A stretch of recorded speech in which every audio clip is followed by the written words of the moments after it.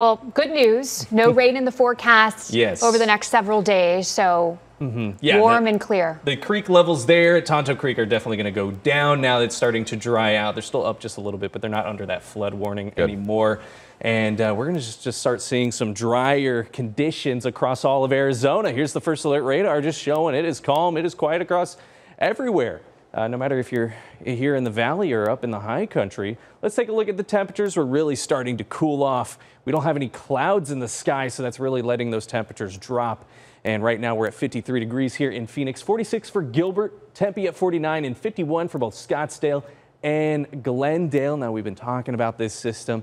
Uh, it's been dropping some rain, dropping some snow, but it's making for some nice images. Here's Sedona from the snowfall we've seen. Definitely uh, love the viewer pictures we've been getting from that snowfall up in the high country. And of course, because we saw decent amount of snow, Flagstaff seeing almost three feet.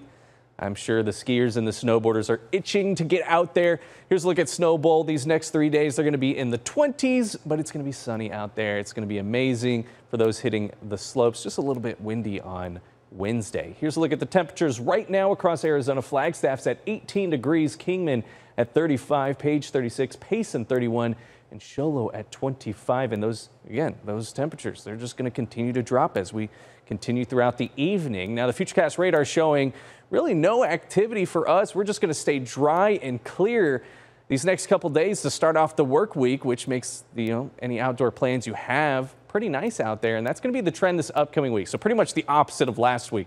Uh, we're going to see a lot more sunshine and slightly warmer temperatures in the afternoon as a result. And just to show you the measurable rain chance is pretty much non-existent this upcoming week. It is going to be dry out there.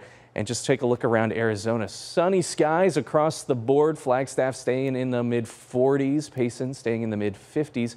Back here in the valley, we're going to warm up to the 70s on Tuesday, and we're going to stay in the 70s, bumped up to the mid 70s by the end of the week. But overall, lots of sunshine is in store. And that's a look at your first alert forecast. Well, you know what this forecast